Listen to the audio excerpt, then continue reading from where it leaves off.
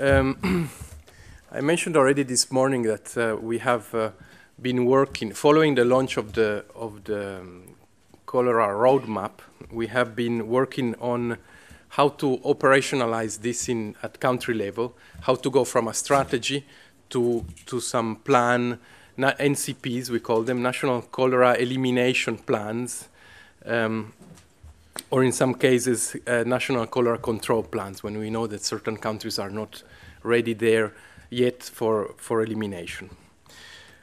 Um, and we know that these plans should be multi-sectoral um, and have um, should have all this, the, the key components, all the pillars of, of cholera control. And what we're asking to the countries and to the GTFCC partners is to feed in um, this framework to discuss and agree what kind of specific activities we want to put in what I call this morning the, the cookbook for, for cholera elimination. And uh, it will be with two, with two work streams.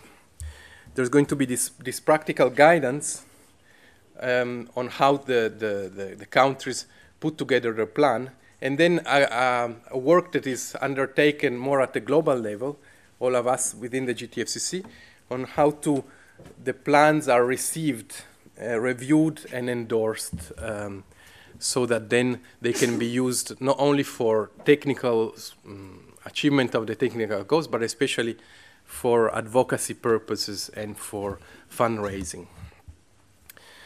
Um, in a way, this, this, this uh, stream of thinking uh, originated with uh, the request for uh, oral cholera vaccination.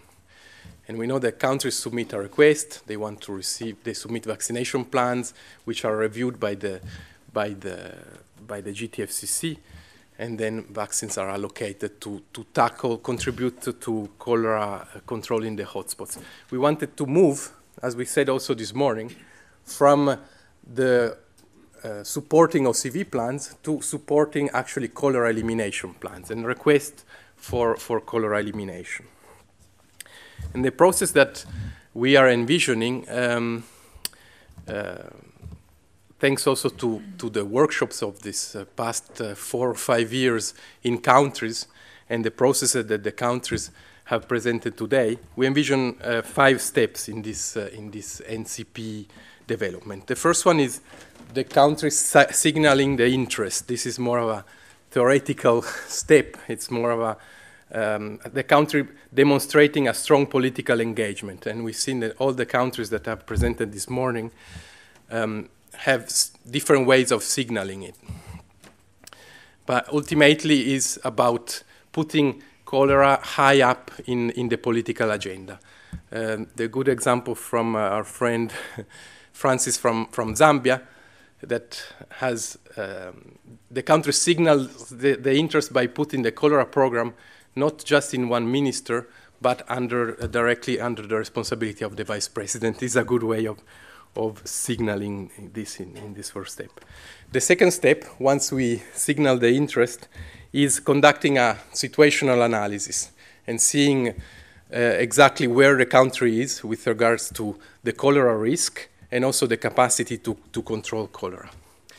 And uh, linked, very much linked, it doesn't have to be necessarily sequentially, of course. It's establishing this uh, multi-sectoral cholera control plans. Um, which should not be in silos, should not be uh, only covered by, say, the Ministry of Health or the Ministry of Infrastructure, but they should be really a multi-sectoral uh, cholera control, uh, country-driven effort. Once this program is established, then there is the developing the actual plan, the NCP, and this is where exactly the framework will guide the countries on, on how to do it, including, of course, the, the budget.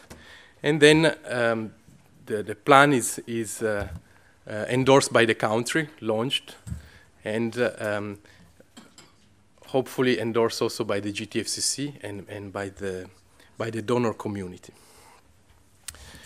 So the first step, the first technical step that we are going to discuss uh, in, uh, in the working group, especially in group one, is the, the situational analysis. which is basically identifying where the problem is, so to address it. Is the classic uh, information for action uh, type of, uh, of uh, mantra in public health. And you, you, um, the countries look at the historical cholera epidemiology, they map the, their hotspots, and then they evaluate also contextual factors, not necessarily linked to the, to the, to the cholera epidemiology, but to define what is actually a, a, an area uh, at risk of cholera. And this is what we're asking the OCV work, the, the WASH working group this afternoon to help us with. Um, we know that uh, if there is cholera and it, if, if a hotspot is hit by, if an area is hit by cholera every year with a high incidence, well, we know that this is a hotspot.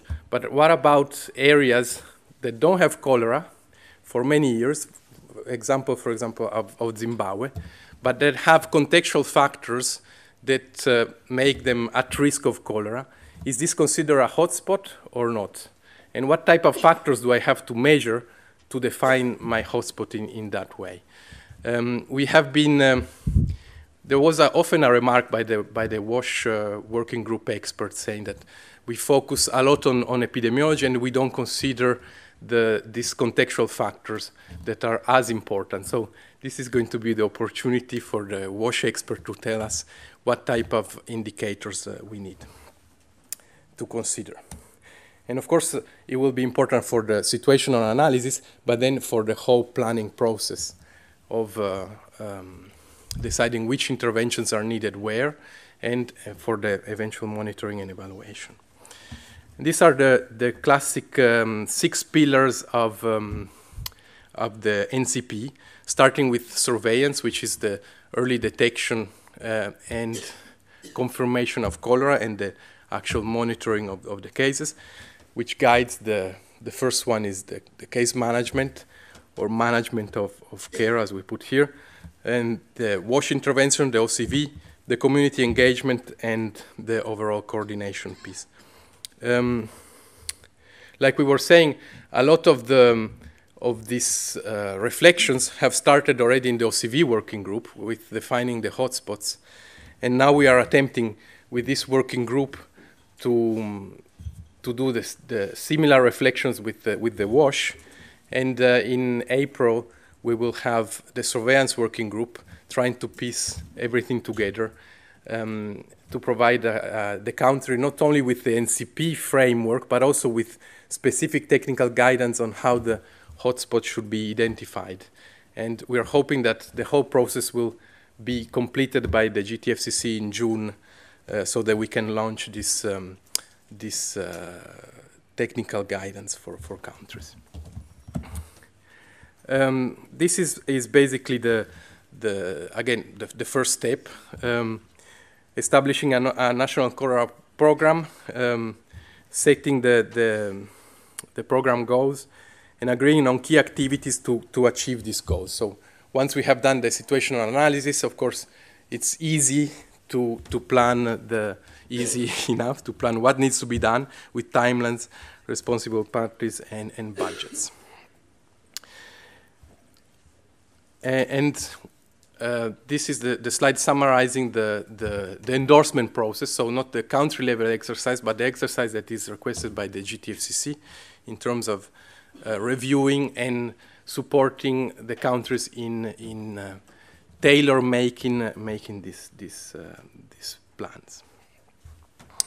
And the consultation will work a bit like we were saying mm, in a similar manner to the, the assessment of the OCV request, but it will be much broader with a subset of individuals from each working group. They will be asked to provide detailed feedback on these plans, high-level consultations with, uh, with uh, each uh, working group via emails or online and during the working groups or during the annual meeting.